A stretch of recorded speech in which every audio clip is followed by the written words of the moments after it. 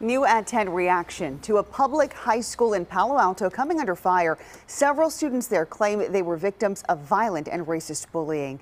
Good evening. I'm Christina Rendon. And I'm Andre Senior. Those parents' allegations include repeated racist language, violent physical attacks, and administrators not doing enough to protect students. New at 10 KTVU Zach Sos is live at Gunn High with what he has learned. Zach.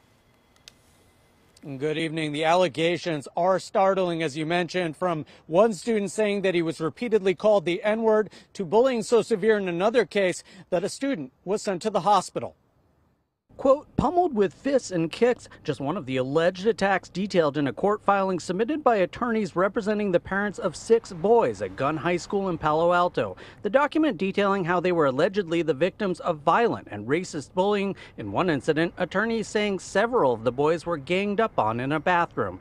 Quote, the boys screamed for help in the bathroom, but no help came.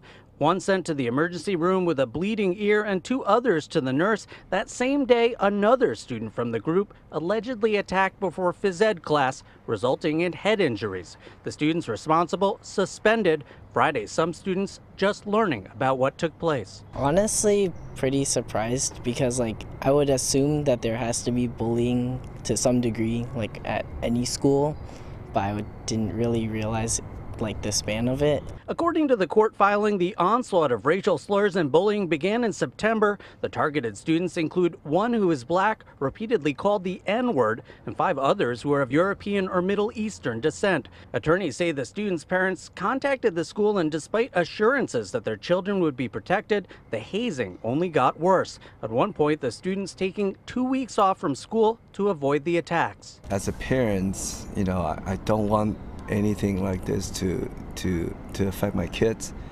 At the same token, I don't want this to affect to any kids to that matter. This is not the first time Gunn High School in the district has come under fire. Two separate sexual assaults, including taunting, were reported at the school in 2017 and 2019. Gunn High School principal Wendy Stratton responding to the latest accusations in a statement Friday saying, quote, Palo Alto Unified School District takes reports of bullying and harassment seriously. One request for a transfer was granted, although the recipient declined unless his friends were also transferred. The aggressors were immediately disciplined consistent with protocols and protective measures are in place. And the district, the families rather, are asking for $25,000 in damages and for the district to put into place better measures to address bullying. The district has until next month to respond. For now, we're live in Palo Alto. Zach Sos, KTVU, Fox 2 News. All right, Zach, thank you.